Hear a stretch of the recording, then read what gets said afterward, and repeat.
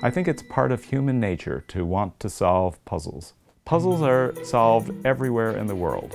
Well, I believe I have the world's largest collection and library on puzzles.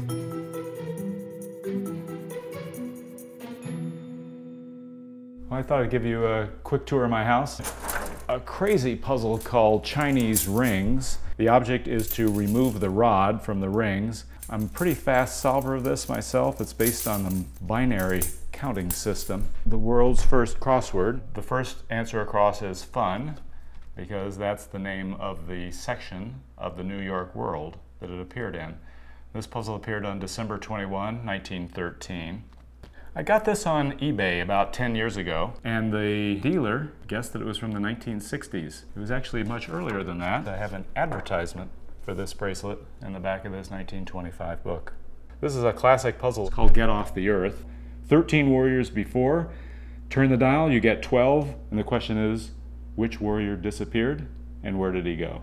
So let's head upstairs and I'll show you some more things there. It's a letter from President Bill Clinton on my 50th birthday, and he wrote, Dear Will, keep the crosswords coming. Even when I can't finish them, they're the only part of the Times that guarantees good feeling. The Old Wit Cap, and it was published in London in 1811. This old closet has a lot of old crossword magazines. It contains the world's first Sudoku puzzle, here are the original Simon & Schuster crossword books, a small collection of Russian rebus puzzles or illustrated puzzles, paperbacks and softcover books over there, foreign language puzzle books organized alphabetically by language, hardcover books arranged alphabetically by author.